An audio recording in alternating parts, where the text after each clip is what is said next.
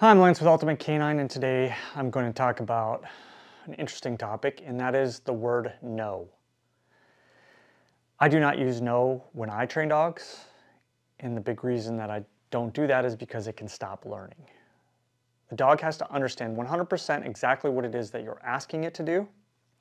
Otherwise, a correction is only going to impact learning, and it's going to it's going to make your relationship suffer because the dog didn't understand what you asked and now you're correcting it because no has to have an impact.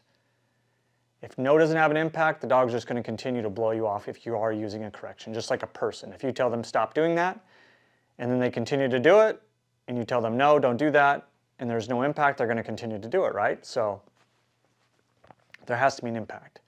I don't do it because typically it interrupts learning.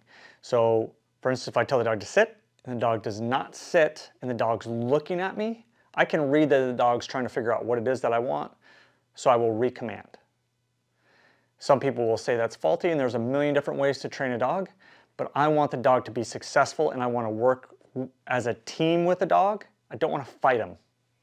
Because when you get into correction, dogs are great at conflict. That's why they have teeth and that's why they bite people and fight other dogs because they don't, they don't do diplomacy like us they are good at conflict. And I don't want to have that with a dog because it just makes your relationship muddy.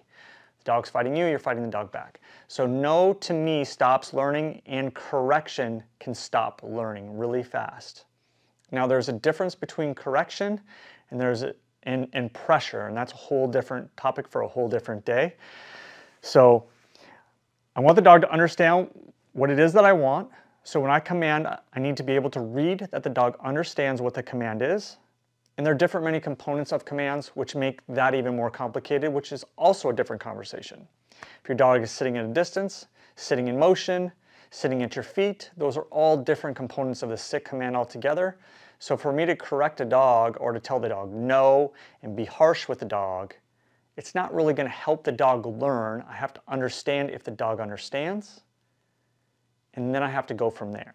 And then I have to use the steps through body language, luring, cues, whatever I have to do, and then wean all those back to make the dog understand what just the word means. That's why I don't use no. Thanks for watching.